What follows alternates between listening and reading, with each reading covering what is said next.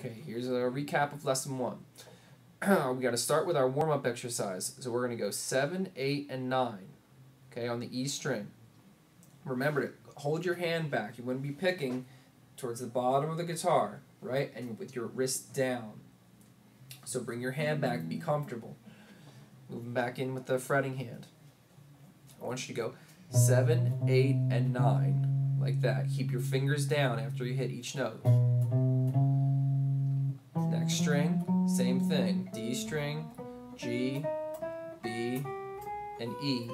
And then you're going to go backwards. You go 9, 8, 7, 9, 8, 7, 9, 8, 7, all the way down. Okay, that's your finger warm up exercise. Do that every time you begin uh, your practice session. Then we moved on to the song Wild Thing. Okay, it was a two finger power chord three chords used. You got to get the names of them down. There was A, there was D, and there was E. A, D, and E. So the rhythm count is going to go one, two, three, and four. One, two, three, and four. You want to play that three times in a row, and you want to call out the rhythm as you're playing it. So one, two, three, and four. One, Again, one, two, three, and four, and one, two, three, and four. Make sure the notes are clean and you know the names. Again, A, D, and E.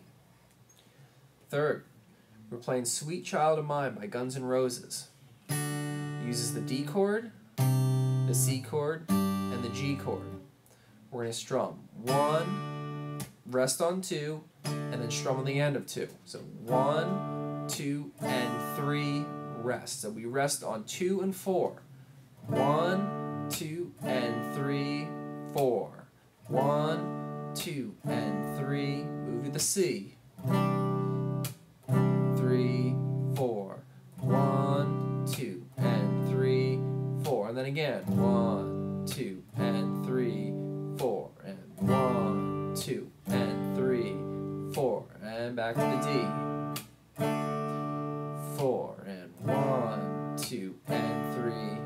So you have D chord, C chord, G chord, D chord. Each chord gets two measures. One, two, and three, four. Muting on two and four. And finally, our A chord. Same thing. And we wrap things up with our blues. So that's going to sound like this.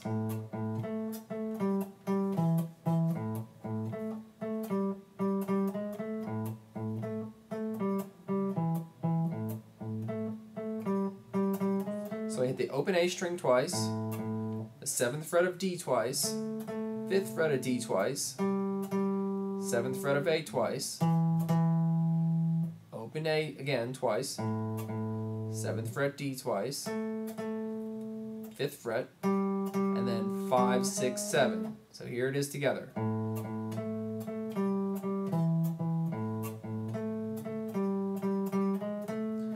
Play that two times and then you're going to move to this.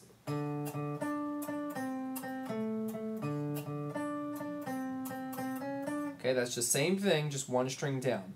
Please bring a notebook in next week.